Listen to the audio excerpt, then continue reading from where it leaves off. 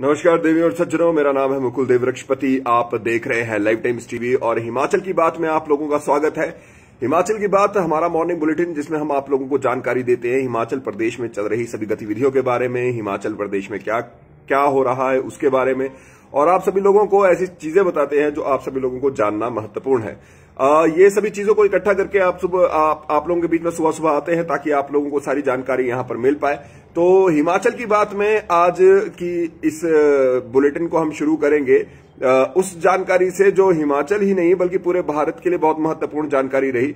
हिमाचल प्रदेश की बात यदि हम करें, हिमाचल प्रदेश से पहले हम यहाँ पर भारत की बात यहाँ पर करेंगे तो जिन कुछ लोगों को ये पता होगा, जो लोग यहाँ पर सोशल मीडिया या किसी और माध्यम से आप लोगों ने ये सुना होगा, और कुछ लोगों को नहीं पता होगा तो उन लोगों को बता दें कि भारत की ओर से पाकिस्तान में गलती से एक मिसाइल चले गया। अब जब भारत और पाकिस्तान की बात यहाँ पर आती है तो ये गलती जो है वो बहुत भारी पड़ सकती है क्योंकि दोनों चीज़ें जो हमारे बीच में जो दोनों प्रदेश जो दोनों देश हैं वो उन दोनों के बीच में जिस तरह के हालात हैं आप लोगों को वो जानकारी है ही। तो पिछले कल हमारे बीच में वहाँ पर गलती से एक सुपरसोनिक मिसाइल जो है वो लॉन्च हो गई और वो रख रखाव के लिए आ, काम किया जा रहा था। उसी दौरान ये हुआ है। और उसके बारे में आपको डिटेल देंगे। उसी के साथ मुख्यमंत्री हमारे बीच में जो दिल्ली गए हुए हैं और दिल्ली जाने के साथ साथ ही मुख्यमंत्री दिल्ली में किन से मिले क्या क्या किन किन मुद्दों पर उन्होंने बात की, कोई किस किस किन किन के हकों के लिए बात की, वो यहाँ पर बात करेंगे। तो शुरुआती तौर पर आप लोगों को यहाँ पर बताते हैं, जैसे कि हम, मैं आपको बता भी रहा था कि हिमाचल प्रदेश जो भारत है उसकी ओर से यहाँ पर गलती से पाकिस्तान की सीमा की ओर एक सुपरसोनिक मिसाइल चली गई है और जाँच के आदेश उस पर चल रहे हैं, जाँच के आदेश उसके दे दिए गए हैं। आप इस स्ट्रीम को ज़रूर शेयर कीजिए, जितना ज़्यादा हो सके लाइक का बटन लगातार दबाते रहे। कमेंट्स के माध्यम से लगातार जुड़े रहे। आपको सभी जानकारी यहाँ पर देंगे। और जितने भी महत्वपूर्ण जानकारियाँ हैं, सिर्फ़ इधर उधर की खबरें नहीं, केवल जानकारी जानकारी आप लोगों को देंगे। तो स्ट्रीम को जितना ज़्यादा हो सके आप शेयर अवश्य करें। और उसी के साथ साथ ये तो हमेशा मैं आपको कहता हूँ कि लाइक का बटन आप लगातार दबाते रहे, ताकि जो मुझे भी पता चले कि भाई आप लोग यहाँ पर सुनना चाहते हैं या नहीं सुनना चाहते ताकि उतना ही मैं भी यहाँ पर जो बुलेटिन है, उसको उतना ही हम यहाँ पर लेकर चले। हिमाचल प्रदेश से पहले जैसे कि हमने कहा कि भारत की बात करें तो सुपरसोनिक मिसाइल का यहाँ पर पाकिस्तान के पाकिस्तान में ये चली गई। वो हुआ क्या कि रख रखाव के दौरान अचानक ये गलती से ये मिसाइल दाग दी गई और वो जो है पाकिस्तान की सीमा में पहुँच गई। वो सुपरसोनिक मिसाइल से हालाँकि किसी भी प्रकार का कोई भी नुकसान या जान माल का नुकसान यहाँ पर नहीं हुआ है, लेकिन पाकिस्तान तो पाकिस्तान है।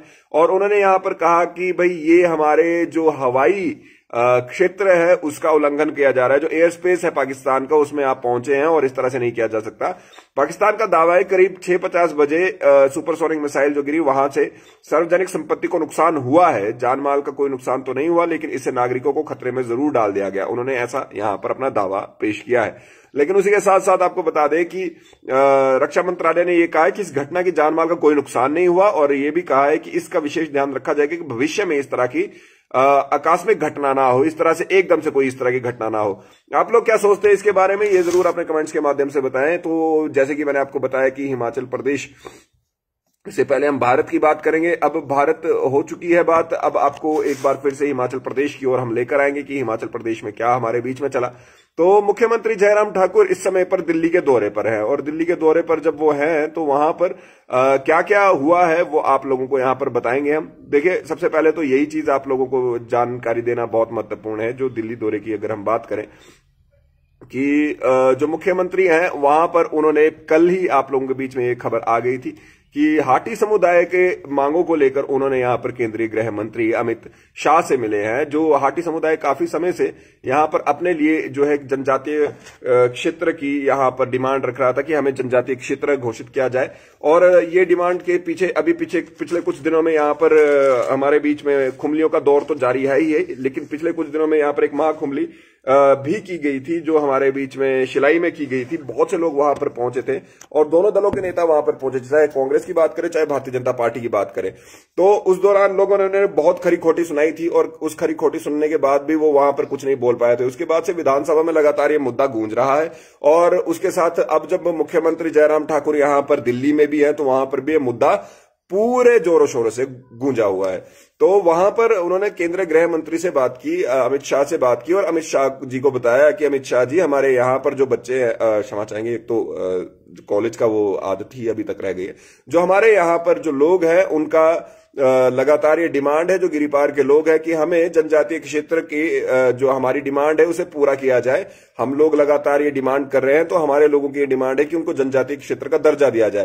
तो अमित शाह जी ने उस पर विचार करने की बात यहाँ पर कही है, और उसी के साथ साथ केवल यही यहाँ पर जो महत्वपूर्ण बात है, वो ही नहीं है। उसके साथ साथ जो हमारे बागवान भाई हैं, बागवान भाई लगातार सेब पर जो आयात शुल्क है, उसको बढ़ाने की बात कर रहे हैं, और इस बाबत यहाँ पर निर्मला सीतारमन, जो हमारे फाइनेंस मिनिस्टर है, वित्त मंत्री है, उनसे भी यहाँ पर मुख्यमंत्री जयराम ठाकुर मिले और मुख्यमंत्री जयराम ठाकुर ने उनसे आग्रह किया कि आप यहाँ पर जितना भी जो जो हिमाचल प्रदेश है, वहाँ पर पूरे भारत की बात उन्होंने की कि जो आयात शुल्क है कि बाहर से जो सेब आता है, उस पर इंपोर्ट ड्यूटी जो लगती है, उसे बढ़ा दिया जाए। ताकि जो हमारे यहाँ का सेब है, उसको एक अच्छी लागत मिल सके, चाहे वो यहाँ की बात हो या फिर बाहर की बात हो। तो ऐसा उन्होंने वहाँ पर डिमांड की है। तो बागवानों के लिए भी काफ़ी समय से बागवान इस चीज़ की डिमांड कर रहे थे और ये डिमांड को मुख्यमंत्री ने अब यहाँ पर केंद्र सरकार के सामने रखा है। और केंद्र सरकार ने, हालाँकि अभी तक ये डिमांड सुनी है अब कितने देर में इस पे कुछ हो पाता है? देखिए, चुनावी वर्ष है और चुनावी वर्ष में जो जहाँ पर चुनाव हो रहे होते हैं वहाँ के डिमांड्स को अच्छे से सुना भी जाता है और उम्मीद यही की जाती है कि वो डिमांड्स अच्छे से पूरी भी की जाएँगी। तो उम्मीद यही है कि उनकी डिमांड यहाँ पर सुनी भी गई होगी। मुख्यमंत्री जयराम ठाकुर जी ने जो कहा, वो सुना भी गया होगा और उसे पूरा भी किया जाए। क्योंकि देखिए, सभी जैसे चाहे हाटी समुदाय की बात करें या किसान बागवानों की बात करें, सेब पर इंपोर्ट ड्यूटी की बात करें तो वो जो भी दोनों चीज़ें हमारे लिए बहुत महत्वपूर्ण है, हमारे सेब के लिए भी बहुत महत्वपूर्ण है और जो ट्रांसगिरी के हमारे लोग हैं, उनकी लगातार ये डिमांड बनी हुई है। आप प्लीज़ इस स्ट्रीम को ज़रूर शेयर कीजिए कमेंट्स के माध्यम से आपके कमेंट्स में यहाँ पर पढ़ना चाहता हूँ। तो आप अपने प्रतिक्रियाएँ भी यहाँ पर लगातार देते रहें ताकि हम इन कमेंट्स को पढ़ सके, आप लोगों को क्या क्या कहना है वो भी हम यहाँ पर जान सके। तो दो चीज़ें यहाँ पर जो यहाँ पर मुख्यमंत्री द्वारा सामने आई है हमारे बीच में और वो है कि एक तो वो वहाँ पर मिले निर्मला सीतारमन जी से, उनमें उन्होंने उनसे कहा कि भाई, जो इम्पोर्ट ड्यूटी है, वो बढ़ाई जाए और उसी के साथ साथ सेब की इम्पोर्ट ड्यूटी बढ़ाई जाए। और बाहर से आने वाले सेब थोड़ा महँगा बिकेगा तो ही हमारा सेब अच्छा बिकेगा। उसी के साथ जो हाटी समुदाय के लोग हैं, जो लगातार माँ खुमलियाँ कर रहे हैं, और जिन्होंने ये कहा कि छह महीने में अगर जनजातीय क्षेत्र का दर्जा नहीं मिलता है तो हम लोग यहाँ पर बड़ा आंदोलन करेंगे। तो ये दोनों चीज़ें हमारे बीच में इस समय पर जो मुख्यमंत्री जी का दौरा है, उसके निकल कर आ रही है। उनकी बात यहाँ पर हम लोगों ने देखी है कि मुख्यमंत्री जी वहाँ पर गए हैं। चलिए, इसके साथ साथ ही अगली खबर की ओर आपको लेकर चलते हैं, और क्या क्या हमारे बीच में यहाँ पर है, वो भी आप लोगों को यहाँ पर बताते हैं। तो जब हम दो बातें यहाँ पर कर दी, उसी के साथ अभी हमारे बीच में विधानसभा का सत्र चल रहा है, और आज शनिवार का दिन है। मुख्यमंत्री जयराम ठाकुर आज वापस पहुँचेंगे ही, और उसके साथ ही शाहपुर में हिमाचल प्रदेश के पहले ड्रोन, जो स्कूल, ड्रोन स्कूल है, उसका भी यहाँ पर उद्घाटन करेंगे। अब आपको जैसे कि जानकारी है कि ड्रोन उड़ाने के लिए आपको लाइसेंस चाहिए होगा, और वो लाइसेंस आपको तभी मिलेगा जब आप वहाँ पर जो कोर्स है ड्रोन स्कूल में, वो करेंगे। तो आपको बता देना चाहेंगे कि जो इस लाइक का बटन लगातार दबाते रहे, मैं कहूँगा यहाँ पर अभी बिल्कुल भी ऐसा दिख रहा है कि काफ़ी कम लाइक्स यहाँ पर दबाए गए हैं। तो उसका आज वो उद्घाटन करेंगे। लेकिन उसके साथ ही जो सबसे महत्वपूर्ण चीज़ अभी हमारे बीच में देखने को मिलती है और वो ये है कि जो सोमवार है, उस पर, उसमें विधानसभा सत्र के दौरान अभी एक और कैबिनेट मीटिंग सोमवार को होना प्रस्तावित है। सोमवार को इस कैबिनेट मीटिंग में बहुत से मुद्दे ऑलरेडी हमारे बीच में जो चले हुए हैं उनकी बात हम यहाँ पर कर सकते हैं। देखिए सबसे पहले तो आउटसोर्स का मुद्दा है ओपीएस वालों का मुद्दा है। आ, काफ़ी ज़्यादा ऐसे लोग हैं जिनके और मुद्दे भी हमारे बीच में उन सभी को यहाँ पर सरकार बीच बीच में देख रही है और क्योंकि बजट सत्र है बजट सत्र के दौरान ही अगर कुछ हो सकता है तो हो सकता है। तो बजट सत्र के दौरान ही वो उसको यहाँ पर पूरा करने का प्रयास भी करेगी कि भाई हाँ चलिए लोगों की जो डिमांड है तो सोमवार को एक बार फिर से यहाँ पर जो बात करेंगे यहाँ पर एक बार फिर से उठेंगे ये सभी लोग जो मुद्दे हैं सभी वो उठेंगे और यहाँ पर बातचीत होगी कि भाई किस तरह से लोगों को क्या क्या यहाँ पर दिया जा सकता है। बजट सत्र के दौरान बहुत से लोगों से, बहुत सी डिमांड यहाँ पर रहती है। बहुत से लोगों का ये बहुत रहता है कि भाई कुछ उनके लिए किया जाए, लेकिन इस समय पर आप समझ सकते हैं कि बजट सत्र के दौरान अगर ये कैबिनेट की मीटिंग भी हो रही है तो उसमें कुछ पॉजिटिव ही निकल के आएगा, ऐसा हम मान सकते हैं। चलिए बहरहाल, इसके साथ साथ आपको बता दें कि ऊना हादसे में जिस तरह से लोग यहाँ पर, कुछ लोगों की मृत्यु हुई थी करीब करीब दर्जन भर वो लोग थे जिनकी मृत्यु हुई थी और बहुत से लोग घायल हुए थे। उनके लिए एनजीटी ने ये लिखा है कि बीस बीस लाख रुपए मुआवजा यहाँ पर देना पड़ेगा। उन्होंने ये भी कहा है कि खंडन करता जो उल्लंघन उल्लंघन जिन्होंने करेंगे, वो उनसे वो राशि वसूली जा सकती है। उन्होंने कहा कि मृतकों के परिजनों को 20-20 लाख 50 फ़ीसदी झुलसे कर्मचारियों को 15 लाख 25 से 50 फ़ीसदी झुलसे कर्मचारियों को 10 लाख 5 से 25 फ़ीसदी झुलसे घायलों को 5 लाख और साधारण प्रभावितों को दो लाख रुपए मुआवजा एक महीने के अंदर अंदर दिया जाना चाहिए। एक तरफ़ एक सरकार की किरकिरी इस चीज़ पे हुई थी, आपको याद होगा कि यहाँ पर जब कुछ लोग शराब पी के, जिनकी जहरीली शराब पी के मृत्यु हुई थी तो वहाँ पे आठ आठ लाख रुपए दिए थे। अभी भी विधानसभा के बीच में वो बात उठती है कि ये अच्छी स्कीम है कि शराब पियो, शराब पी के मरने वालों को, शराब पीने वालों को, उनके साथ मृत्यु होने वालों को उनको आठ लाख रुपए मिलेंगे, लेकिन कोई किसी और तरह से मरता है तो उनको यहाँ पर उससे कम पैसा मिलेगा। लेकिन यहाँ पर एनजीटी ने अब यहाँ पर कह दिया है कि भाई आप लोग जो लोग यहाँ पर पटाखा फैक्ट्री में जिनकी मृत्यु हुई है, जो मृत्यु है, हुई है, उनको बीस बीस लाख उनके परिजनों को मिले। बाकी सब लोगों को जो पचास फ़ीसदी झुलसे हैं, उनको पंद्रह लाख, पच्चीस से पचास फ़ीसदी झुलसे हुए को दस लाख, और पाँच से पच्चीस फ़ीसदी झुलसे लोगों को यहाँ पर पाँच लाख रुपए। साधारण जो भी यहाँ पर छोटे मोटे और भी कुछ हुआ है तो उन लोगों को भी यहाँ पर कम से कम दो लाख रुपए देने का आदेश दिया है। बारह लोग इसमें अभी तक हमारे बीच में जुलझ चुके हैं। बात हम यहाँ पर कर रहे थे मुख्यमंत्री के दौरे की। मुख्यमंत्री के दौरे के साथ साथ यहाँ पर दो चीज़ें आप लोगों को और यहाँ पर बताना बहुत महत्वपूर्ण है। पहले तो इस मुख्यमंत्री के दौरे में आ, उनसे चेतन ब्रागटा जी भी मिले हैं। चेतन ब्रागटा जी जो पहले भारतीय जनता पार्टी के आईटी हेड थे वो अब यहाँ पर निर्दलीय चुनाव लड़े हैं। लेकिन उसके बाद ही शुक्रवार को वो मुख्यमंत्री जयराम ठाकुर से उन्होंने मुलाकात की और नगर निगम चुनाव से पहले इस मुलाकात को इस तरह देखा जा रहा है कि क्या हो सकता है कि वो यहाँ पर पार्टी ज्वाइन कर ले या दोबारा से भारतीय जनता पार्टी ज्वाइन कर ले, एक चीज़। और दूसरी ये है कि यहाँ पर ये शिष्टाचार के नाते वो तो जैसे कह रहे हैं कि हम शिष्टाचार के नाते मिले।